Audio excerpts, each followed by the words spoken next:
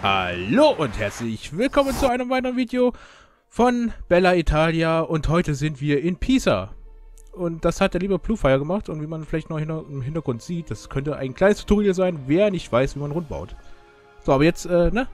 Stell dich mal kurz, sag mal kurz Hallo. Ja, hi Leute. Ähm, freut mich, dass ihr wieder dabei seid und zuschauen könnt. Ja, genau, richtig. Wie du schon erwähnt hast, ähm, ist dieses Video gleichzeitig auch quasi ein Tutorial, wie man halt am besten rund baut. Ähm, hatte ich am Anfang auch meine Schwierigkeiten und hatte natürlich mit Mitaru ein bisschen äh, Starthilfe tatsächlich und ja, genau. Und äh, hier sieht man schon direkt, äh, das ist der perfekte Kreis eigentlich. Ja, du hast, du, du hast wirklich den perfekten Kreis erwischt. das ist unfassbar. Weißt du, wie oft ich da. Ich brauche da so unglaublich viele An Anläufe, um das so rund zu bauen, wie du es gerade gemacht ja. hast. Und einfach so First ja, Try, so. Also, ja, und beim ersten Versuch, bäh. Was natürlich auch äh, ähm, ähm, eigentlich ganz gut ist, weil sonst hätte es, glaube ich, noch mehr Stunden gedauert für den Turm. Äh, genau, wir bauen jetzt hier den Pisa, den schiefen Turm vom Pisa, äh, das eigentliche Wahrzeichen vom mhm. Pisa. Ansonsten ist ein Pisa eigentlich nichts, ähm, was äh, nennenswert. Außer Grünfläche.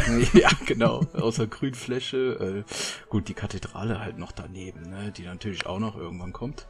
Ähm, aber ja, hier geht's ja, erstmal nur um den Pisa und ähm, ja, jetzt brauche ich erstmal hier ähm, das Gerüst zusammen, sag ich mal. Jetzt äh, natürlich erstmal gucken, welche Teile passen am besten da rein.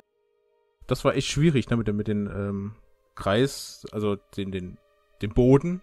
Genau. Das war echt schon äh, sehr knifflig. Genau, das Problem war halt auch daran, hier sieht man, hat man kurz gesehen, ich habe halt versucht, ich, oder ich wollte die Achterbahn durch den Pisa fahren lassen. Ja.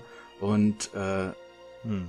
am Ende habe ich mich dann doch entschieden, es nicht zu machen, weil es einfach keine vernünftigen Teile gab, wie ich den Innenraum halt vernünftig dann schließen könnte. Ja. Und äh, ja, hier, ja, hier sieht man kurz mal, welche, welche Achterbahn ähm, ich da eventuell nehmen würde. Ähm, ja. Aber es ist ja, ist ja, der Bereich ist ja nicht nur Pisa, ne? Was, was, was brauchst du denn noch so Schönes? Ähm, genau, richtig. Also ähm, im Endeffekt ist es das ganze Gelände hauptsächlich, wo der Pisa-Turm drauf steht. Das ist viel Grünfläche, äh, unter anderem aber auch mit einer Mauer äh, durchzogen, beziehungsweise ja, ja doch eigentlich durchzogen durch eine Mauer, wo eine Kathedrale noch drin ist, eine Kuppel und äh, ein Reihenhaus, äh, was ich aber nicht komplett baue, weil das äh, sprengt dann komplett jeden Rahmen, weil der über das ganze, über die ganze Mauer da lang geht. Ja, die Kathedrale ist ja, ist ja dann von Florenz, ne?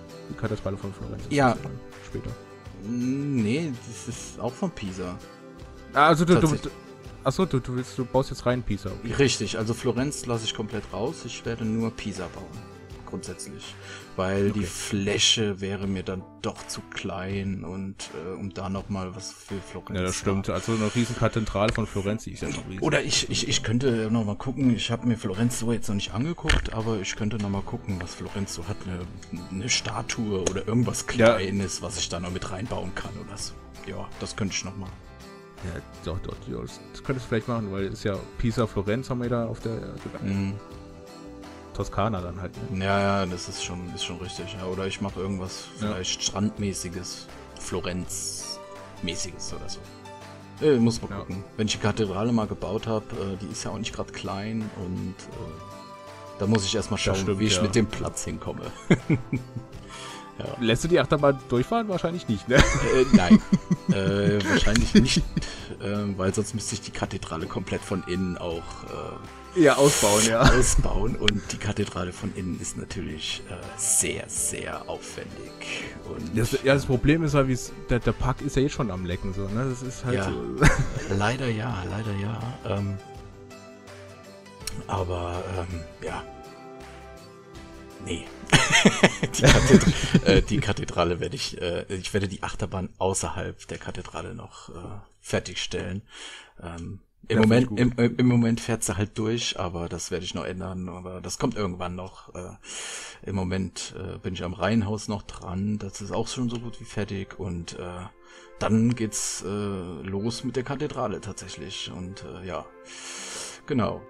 Und, oh, jetzt, äh, jetzt fangen wir das Äußere an. Jetzt, ja, jetzt genau. Jetzt äh, kommen die ganzen Säulen, die außenrum zu sehen sind vom Pisa. Und ähm, tatsächlich, der Vorteil von Pisa war, ähm, dass ähm, die Etagen alle zum Glück gleich aussehen. Gleich aussehen.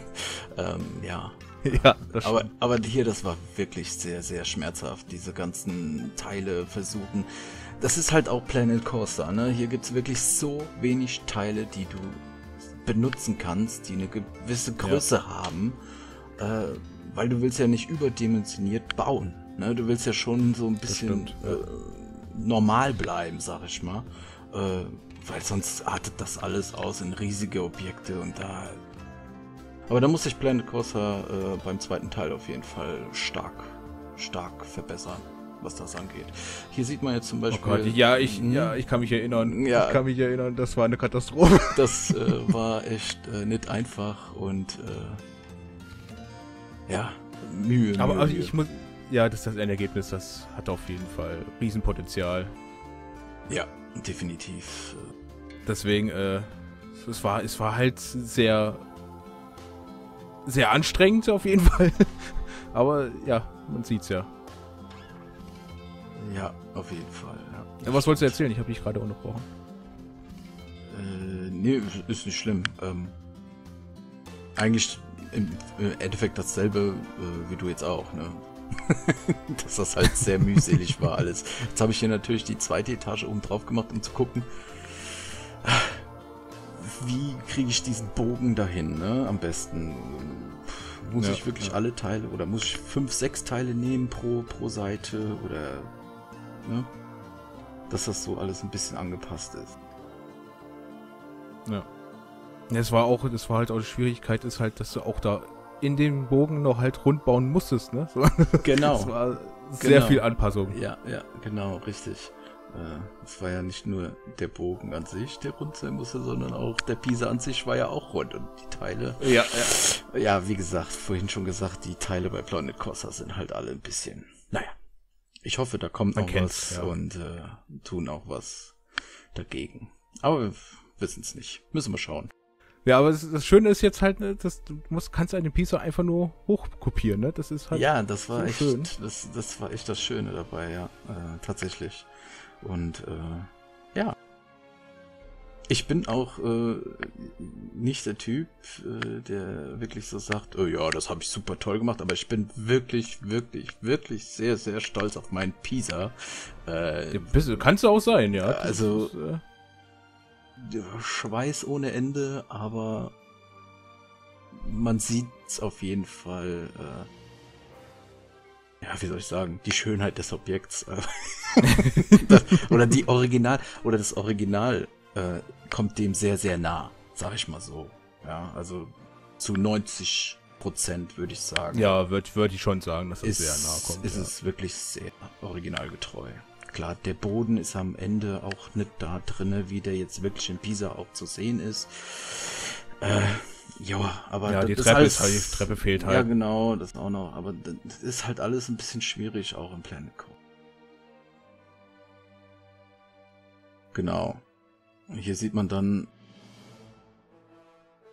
die Spitze, die noch da drauf kommt. Und äh, die ist halt gerade oben. Der Pisa an sich ist ja schief aber oben die Spitze genau. ist gerade. Ja. Ja. Ich sehe, wir kommen schon zum Ende. Tatsächlich, äh, ja. Ja, ja. Ähm, Im nächsten Part, äh, das wusste ich vorher noch gar nicht, ne, dass der Pisa tatsächlich einen Glockenturm hat. Das wusste ich tatsächlich nicht. Ja, ja, der hat einen Glockenturm und die ähm, Touristen, äh, also man kann als Tourist oben an die Spitze draufgehen, ne? Ja, das, das habe ich dann erst nachhinein dann gesehen, aber äh, ja, äh, das kommt dann im nächsten Part. Äh, ja, genau, der Glockenturm kommt im nächsten Part und äh, wer nicht warten kann. Der Pisa-Turm ist tatsächlich schon fertig im Steam Workshop. Natürlich ist er unten in der Videobeschreibung verlinkt und wir sehen uns im nächsten Part in aller Frische. Mach's gut und tschüss. Tschüss.